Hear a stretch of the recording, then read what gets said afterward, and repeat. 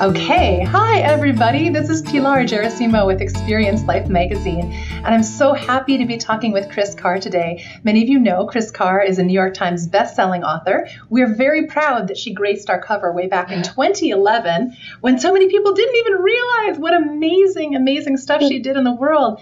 Um, and since then, she's done a great, great deal. We're going to talk about some of her most recent projects today. But I want to start by Kris, thank you so much for talking with us, first of all, and taking time out of your very very busy schedule to be with us today. Thank you for having me again and again. I'm so grateful, Pilar. Oh, it's such a pleasure. It's it's been it's an odyssey to witness all of the incredible things that you've done. And for folks who don't know you as well as we know you, I would love if you could just recap for people a little bit about how you got from where you were not so very long ago to where you are today.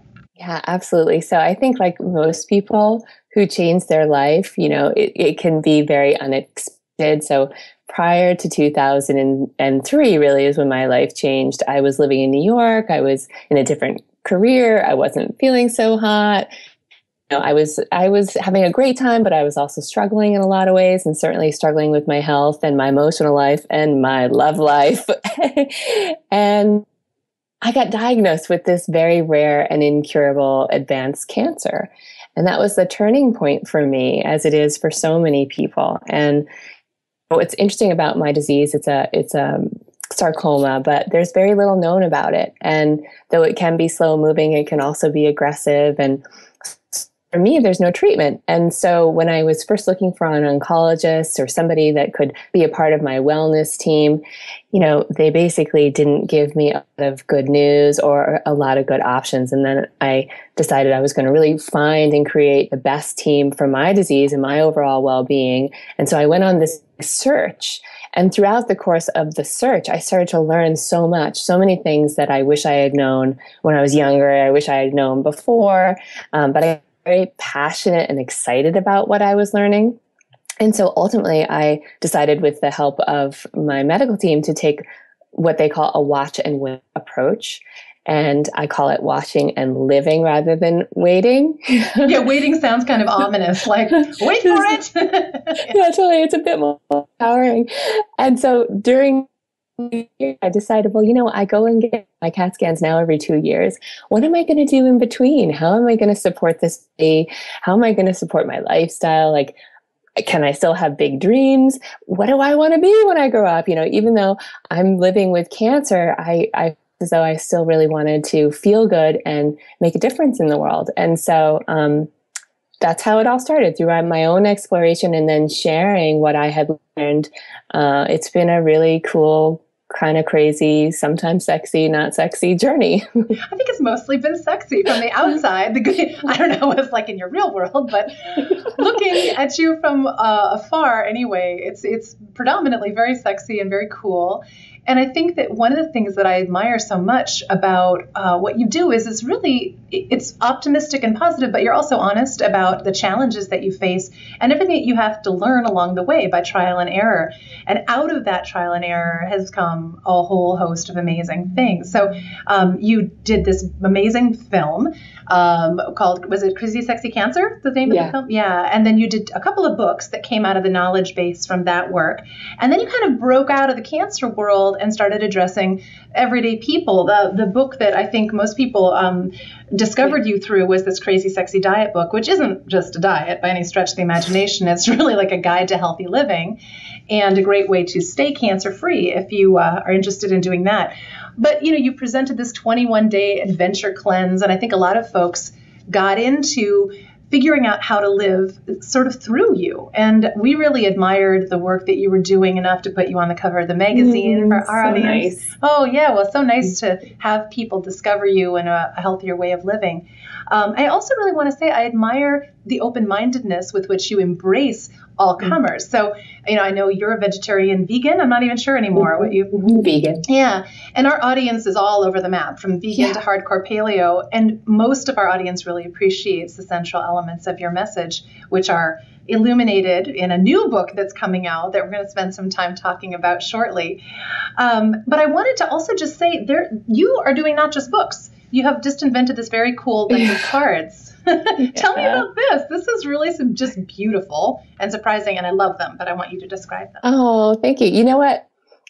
Along the way for me, I realized that to feel good, it's not just about what you're eating. You know, I am vegan, but I'm not a my way or the highway type of girl. Really, my goal is to get people to want to inspire people to possibly eat more plants.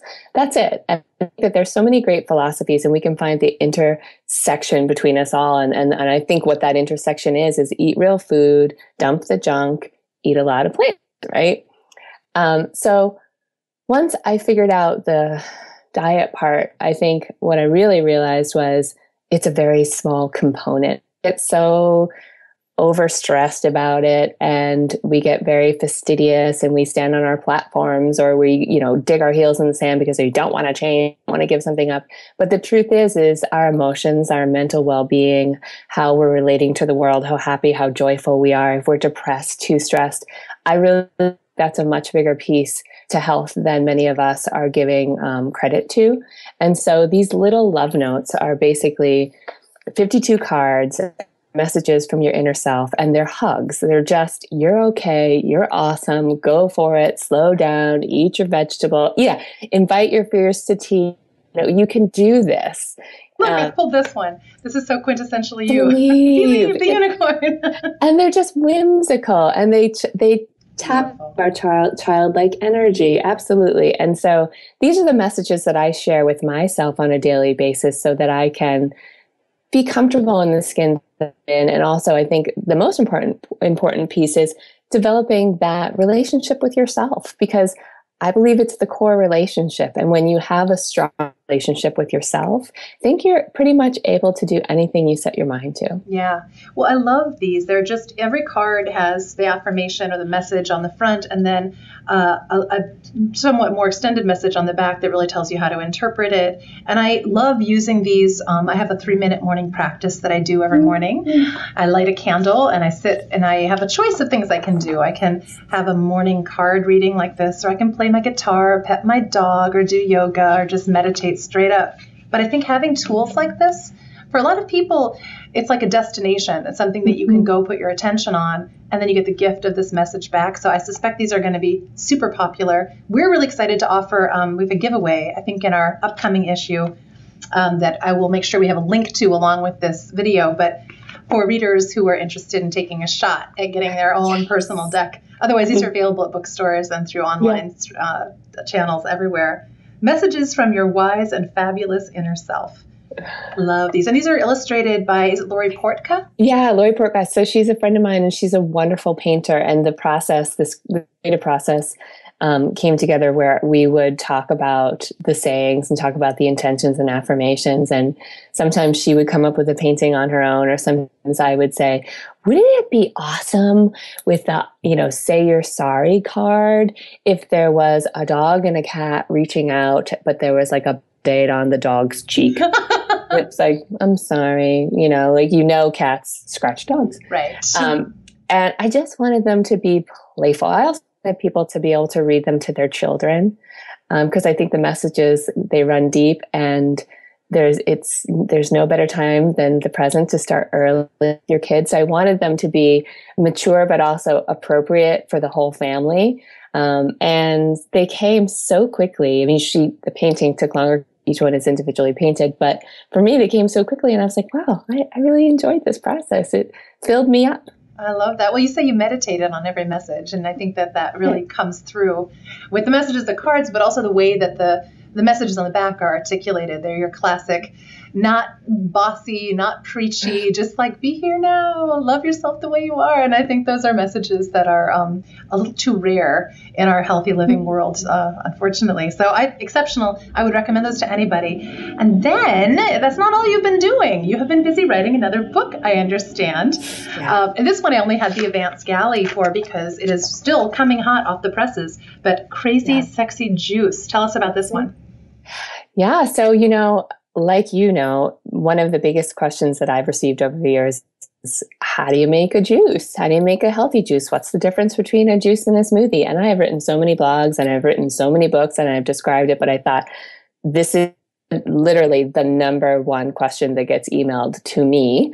I would really love to tackle this all in one place and share all of my personal recipes with my readers and new people who will hopefully become my readers and so that was that was the reason why I just said I, I need to write this book because it's that I believe in so much and I've been talking about and certainly I was on the cover of Experience Life with the green juice in my martini glass and yeah. it's very classic. yeah, it, it, it's the foundation of one of, of my health practices. I'd say, you know, there's so many things that we could tell people to do and oftentimes it gets them anxious because they then create this long self-care to-do list and they get a little overwhelmed. And certainly as somebody who's been a health seeker from a medical medical condition but also because ultimately I started to feel better when I took better care of myself I've looked into so many things and I too have gotten anxious at times. And certainly for people who don't know how to cook and they're a little intimidated by the kitchen you know i've written cookbooks and um, all you need is a juicer and a blender and a few tips on how to make your vegetables and your fruits taste really good. And again like we were saying earlier is our goal is just to encourage you to eat more vegetables and this is an easy way to do it so. It's great. You know i think the thing that's so lovely about the timing of the book is in some ways it feels like the past couple years there's been this huge increase of interest in juicing and it's become something of a fad i think at least that's the perception. Green juice everywhere. I recently just had something on social where i was like you know i love green juice and yet I'm starting to feel like the meme is getting overused. and of course, there are challenges with any, you know, huge rise and surge in popularity of something. It often can get diluted and the message can get lost. And you really did a nice job in the book of reminding people, you know, this isn't about just going and getting your bottled like Odwalla juice off of the yeah. airport, you know, convenience store shelf where it's 95% sugar. It has yeah. like 500 grams of simple sugars and whatever. And you're like, this right. can't be good. But what you're talking about is really fundamentally whole foods, low glycemic index, really yeah. healthy, filled with phytonutrients, honest to God juice the way Mother Nature intended. And uh, they look like beautiful recipes. How many do you said it's 100 of them? 100 and Yeah, there's about 102 recipes. It's amazing. It says juices and also smoothies and blended drinks and nut milks, which I thought yeah. was such a great addition. And I love, I've just started doing this myself. I partially because I've been so unhappy with the direction that boxed um, nut milks and things have gone. They are getting kind of gelatinous and snotty. Yeah. I don't know it's the ah. what they're doing. don't drink those. they're nasty. So the, making the fresh ones yourself, um, you've got them in there. And I, I, would love for you to just say, you know, are there a couple of do's and don'ts that you'd like to share with people to both encourage everybody to go read the whole book, but someone who's just getting involved in juicing now, any guidelines that are simple yeah. things? You know, um, I'm not big on do's and don'ts because I think this is a very restrictive world with a lot of rules. But I will say that from my experience, um, it's best if you're a newbie to start slowly. You know, start with a few ingredients. You may find delicious recipes in Crazy Sexy Juice, or maybe you just want to explore on your own. And I would probably avoid adding things like too much kale because it can be very strong and a bit bitter if you overdo it. Um, I mean, I know a lot of people when I'm at conferences and there's newbies in the audience and they say it's green. I don't know. I say you know what? What if you like cucumber? Yes i do. Great. We're on the right track. What if you just did cucumber apple? Do you like mint? I love mint. A little mint and a little lemon. We just keep it really simple um, because i think sometimes when we add so much stuff yeah. It, we lose the taste, we lose the flavor combination, and um, we lose people's interest very quickly. you know, we want to capture their interest right away and hopefully keep it. And um, the other thing is, is, is, as you said, is don't add too much sugar to it. You want to make sure that you are including vegetables in your in juice combo or in your smoothie combo. Um, and then the last thing I would say is sometimes when people come out with new products, they say juicing is the only way to go. And then they poo poo smoothies or they come out with a smoothie smoothie book and then they tell you all the reasons why juice is bad. That's a marketing um, and the truth is is that both of them are great. If you like one over the other, I know some people don't like the taste of smoothies or like the texture rather. It's a little too thick for them and make them a little nauseous or gaggy. Great. So you have your green juice. Some people are like, ah, you know, a little more, I need more energy throughout the course of the day. And guess what? I don't want to clean the because it takes more time. Is that okay? Whenever anybody asks me permission, I say, You are the only person who can give yourself permission. Do whichever one you prefer. And, you know, another thing that comes up is a lot of folks will say you need to drink your juice right away. Um, otherwise, you're going to lose its potency and its vitamins, minerals, enzymes. Uh, you know what? Here's what I think, folks. I think you should make a big batch and have your second glass eight hours later. you know what I mean? When everybody else is having their coffee and cigarette break, you're going to have your juice and you're not going to be like, oh, unfortunately, this isn't healthy for me. Depleted phytonutrients. Very no. scary, bad thing. Yeah. No, no. Still no, going to be more phytonutrients than most people ate the rest yeah. of the day combined.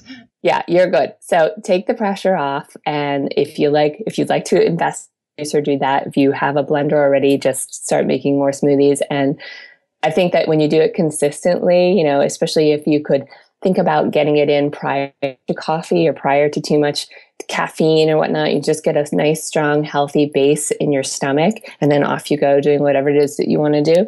Um, you will better. Yeah, I love that idea. I think that approach of adding, you know, good things to your life eh, rather than trying to take things away from people. So often we just love these crazily restrictive diets and things because yeah. they, I don't know, we think we're being good when we follow them or something, but we ended up feeling really crappy about ourselves because very few people want to sustain or can sustain those kinds of regimens. And I think the the whole book, and really this is consistent with your other books too, is just do what you can, experiment, try these things, add them to your already lovely good life, and see if it doesn't just get a little bit better. And I love that idea of just the first thing into your body being something that's healthy and nutrient dense and refreshing and rehydrating before you hit it with the super caffeine and the whatever yeah. else you put in that concoction. Absolutely. I mean, you and I agree so many points. We've had such great conversations and dinners over this. And the truth is, is if if French fries cured cancer, I'd be a very happy girl. Like, I mean, I'm not going to give up French fries, and I'm a leader in the wellness movement. You know, bless you, um, Kris. I'm with so, you on that. but I, I, find that there's a there are a lot of ways to balance out our diets and our lifestyles, and as long as we have that strong platform and a home base to go to, like when we don't feel well, or perhaps we've been traveling a lot and maybe pushing it a little too hard. As long as we have that home base, that's what we're looking for. And that's what we want to create with Whole Foods. That's great.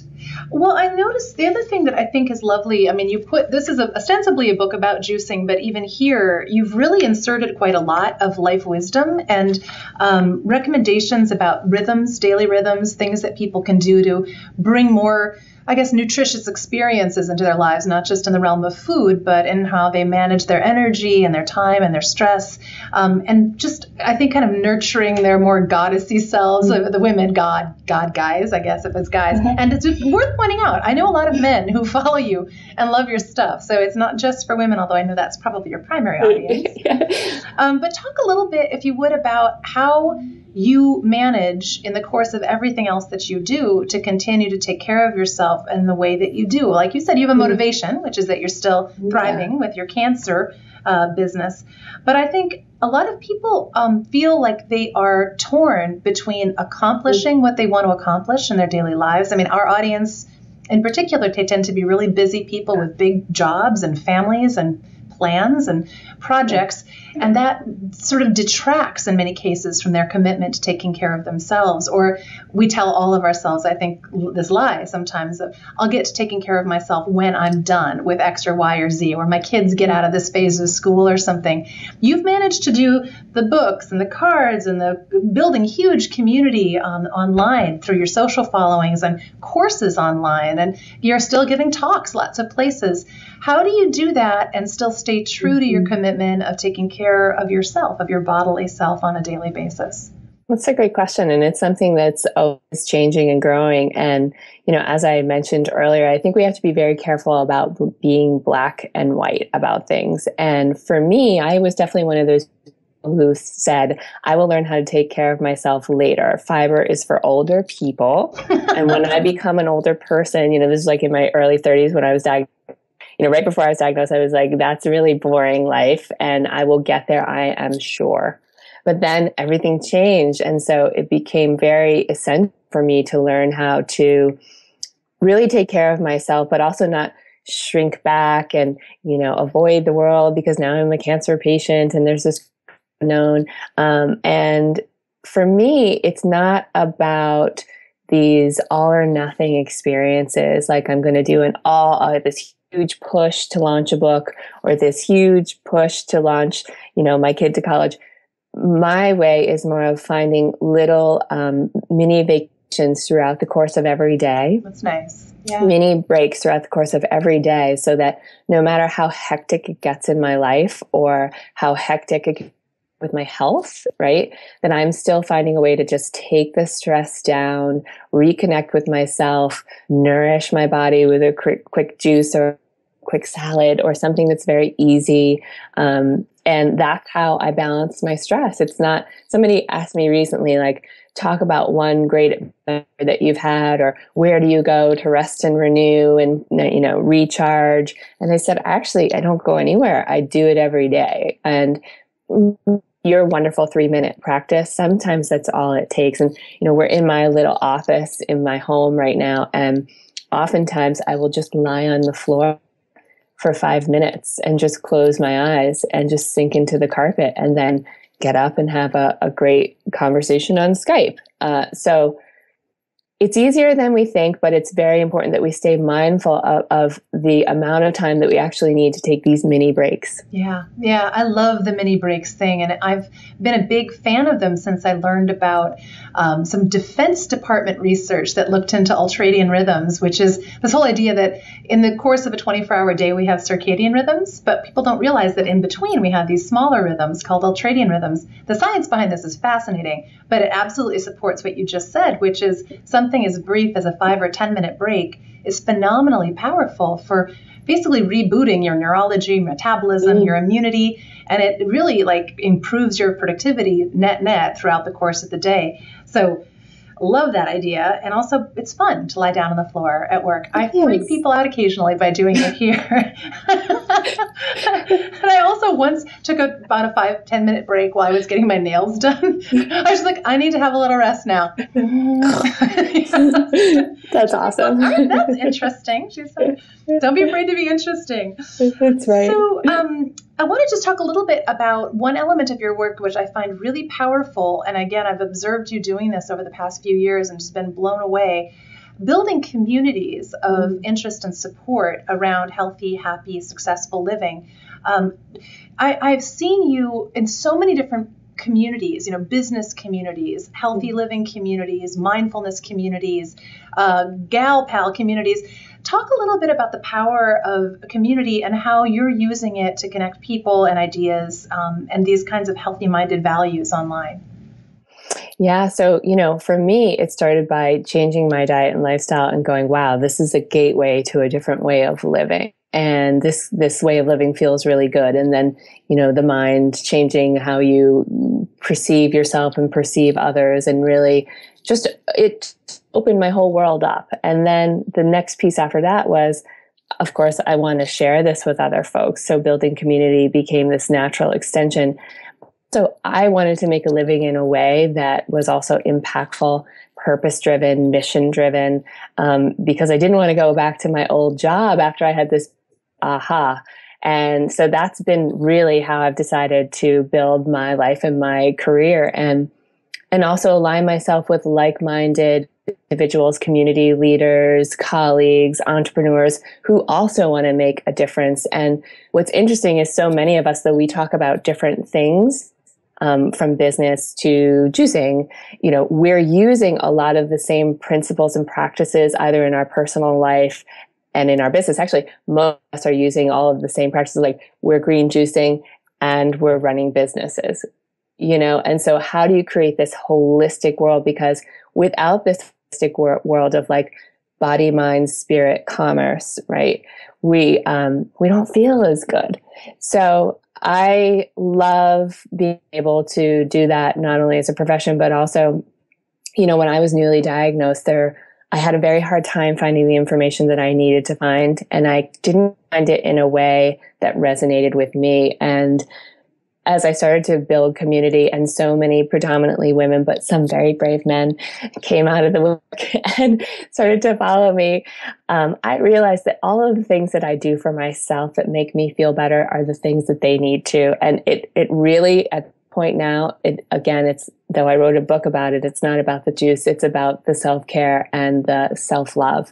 And so, um, my goal in, in building communities is just to help people build their self esteem and be a touchstone for them that is safe and 100% positive and just like a little oasis online that hopefully will continue to grow and become a very big oasis because in the online space today, as you well know, we need people who are standing up for love and self care and our planet and the people who live on it. And so um, I'm very passionate about being, trying to be one of those people. That's so great. Oh, and beautifully said. Oh my God. I think that's, you said something before too about the gateway. You know, there's so many ways into this world. And then once you're in it, it's like many, many different pathways lead to the central space.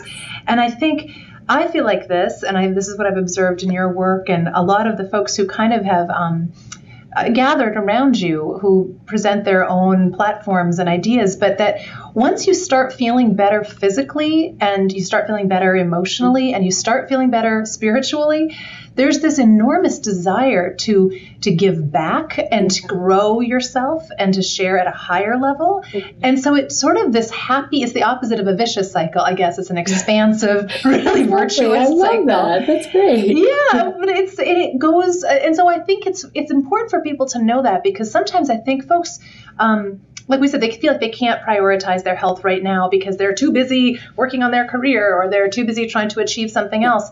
And I often will tell people who are on that kind of hamster wheel of, of intensity, you know, trust your body to help support those larger goals. And, you know, what you were doing before this endeavor, the work you were doing as a photographer, as an actress, it was great work. But I sense that it wasn't really your calling, at least not of now. That you're you're you're on a path that I think has changed so many millions of lives, um, and you couldn't have gotten there unless you were willing to invest and kind of you know triggered to invest in yourself um, by your own health crisis. So I it's I wish somehow you could have been spared the crisis and gotten all the goodies, but I'm. I never would have listened. it would never, never worked. Very well, stubborn. yeah. Uh, and thank goodness because that yeah. willingness to to push through um, has yes. gotten you all this way. So I want to make sure that folks who want to connect with you uh, can figure out how to do that. But let's start by telling people when does your book come out? When does this crazy sexy juice thing hit the yes. news, uh, the bookstore shelves? It hits the stands on October 20th, and you can find it in all major stores or online. Um, go through Amazon. You can go through com. And uh, i have a lot of really neat bonus gifts for people and thank you gifts because i very much appreciate people wanting to support me and i want to support them even more goodies. And i'm kind of everywhere. I'm on facebook. You can find me on twitter. I love instagram. That's where you can meet my dogs are my children, right? Love so. your Instagram account. We're basically like mutual dog lovers, Kris and I. We so like, I love your picture of your dog. Your dogs are gorgeous. They're wonderful. They're pretty cute. They're pretty cute. So, um, yeah, I, am everywhere. Come find me. And your main site is kriscarr.com, right? Yes, and people can connect to all of those different things through that central deal and find out more about your book and your other projects and play. Um, anything else you want people to know or be thinking about as they move into fall? You know, I think you said it best when um, you said you don't need to remove things, just add things to your life. You know, it's a season where things are starting to fade away and change, and we're going to have winter. And it's a beautiful time to rejuvenate and start to really think about what season of life you're actually in. You may not be in fall, right? You may actually be in a place where you are more in a contemplative area and to let yourself be there and if there's one thing that you want to add to your weekly practice and as we were talking about your three minute um, you know experience or practice in the morning or me just taking minutes to lie on the floor or make a green juice pick one of those things and start to add them to the season. It might not have anything to do with your food. It might you wake up and say thank you. I'm so grateful. I love you fill in the blank fill in the blank kris. I love you. Let's go have a great day. And just take it yeah, well, cards are really good for that. If anybody wants to give themselves the gift of an extra little moment in the day, Also nice to keep at work in the event of a slow moment in the late afternoon about the time yeah. you go needing caffeine or sugar, you can skip that, have a juice, and do the cards instead. It's a much more loving way to relate to exactly. yourself. And I just want to thank you again, Kris, for contributing in so many ways over the years to Experience Life magazine and also to revolutionaryact.com, where we have you as a, mm-hmm. a very um, uh, I guess we would just say treasured co-revolutionary mm-hmm. in the healthy revolution, and we really appreciate you continuing to just inspire millions of people. And we are um, thrilled to see the book when it comes out. And like I said, if folks want to check out the giveaway for the cards and learn more about you, we've got. Um, some lovely stuff in, a, in our upcoming issue of Experience Life magazine, the November issue. And um, that's all I know. I just want to talk to you more and more. And so I feel we like will. Let's we, can, this. we should do this again sometime. Yeah, let's do it again. Thank you. And it's really, it is an honor. And I just love you and everybody. So thank you. Thank you. Well, yeah. Take care of yourself and we'll catch up with you again soon. Okay. Thanks. Bye bye.